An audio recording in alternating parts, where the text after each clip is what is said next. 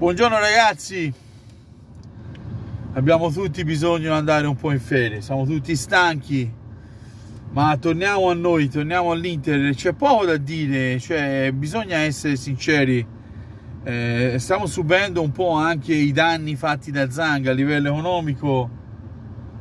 E, e Octree alla fine è una proprietà senza anima, senza amore, questo lo stiamo capendo tutti. Eh, Octree beve il sangue, diceva, dice Effenberg, soprattutto nelle, oper- nelle, operazioni finanziarie che ha fatto anche in Cina con Evergrande. Loro sono ritrovati questo asset eh, che il prima possibile cercheranno di vendere. Chi parla di progetti a 2-3 anni non, non, non, non sono d'accordo perché per fare progetti a 2-3 anni devi investire tanti soldi eh, perché poi la politica dei giovani che a me piace va bene, ma eh, la politica dei giovani è rischiosa perché ad oggi ragazzi, parliamoci chiaro, duriamo fatica a comprare un giocatore da 25-30 milioni, ma io questo lo dico da inizio mercato, difficilmente all'Inter, e lo dico non, non essendo un insider, lo dico solo sì andando per logica, eh, non arrivano giocatori 35-40, almeno che non, tu possa mettere dentro una contropartita, motivo per cui l'Inter non avrebbe mai preso buongiorno. Infatti eh, infatti trovatemi qualcuno che dice che l'Inter ha fatto un'offerta per buongiorno. Sembrava, sembrerebbe che l'Inter, l'Inter potrebbe offrire, non c'è stata nessuna offerta per buongiorno perché buongiorno è un giocatore da 40 milioni che Napoli lo ha pagato quella cifra lì.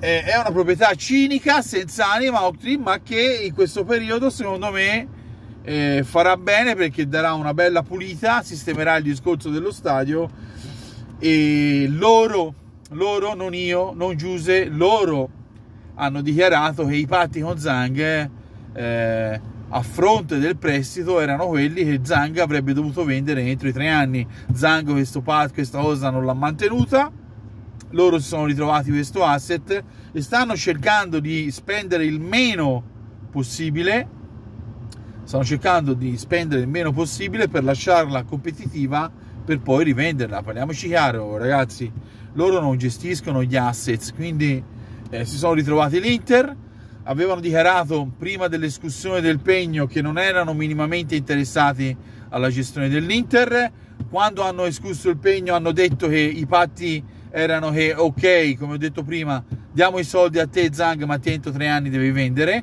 E anche questa è una cosa che è ufficiale dichiarata eh, da loro, quindi e capisco qualcuno che, mm, che, magari dice ok, comunque una nuova proprietà, eh, dovrebbero fare un mercato migliore. Innanzitutto il mercato ancora non è finito, ma eh, or- ormai si è vista la linea guida qual è lei no, di questo mercato. Mercato di occasioni, mercato di eh, giocatori giovani, eh, però ci sono tanti lati positivi perché, ripeto, ad oggi te puoi decidere se prendere Hermoso oppure no. Con Zang Hermoso sarebbe già stato preso.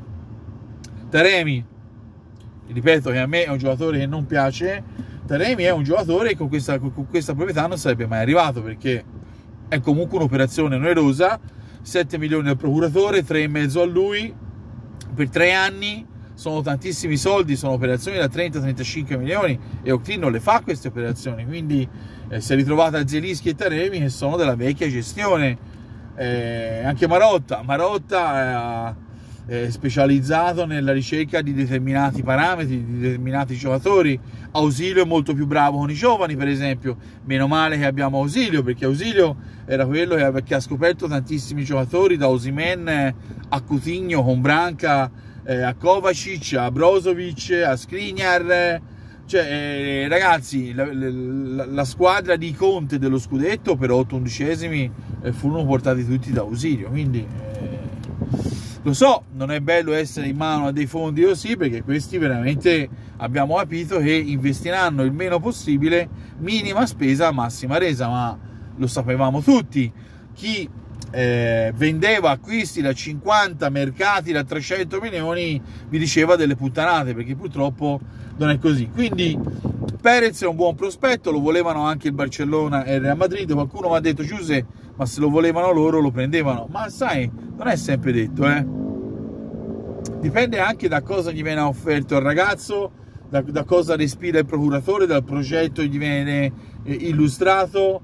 Topalovic, l'ho detto ragazzi, l'ho visto giocare tanto negli ultimi 20 giorni, secondo me è fortissimo, eh, lo so, sono ragazzini giovani, eh, però prendiamo spunto dalla Spagna che con due bambini ha fatto girare i coglioni a tutti, sulle fasce. Quindi con, eh, con quello con Nicodino, ora non mi ricordo il nome, con il ragazzo del Barcellona. Quindi vedi l'età conta ma fino a un certo punto un po' come nell'amore eh, quindi bisogna cercare anche di rischiare di investire un po' più sui giovani e poi ragazzi che Dio ce la mandi buona si dice in Toscana e senza puntolini puntolini. Ciao Inter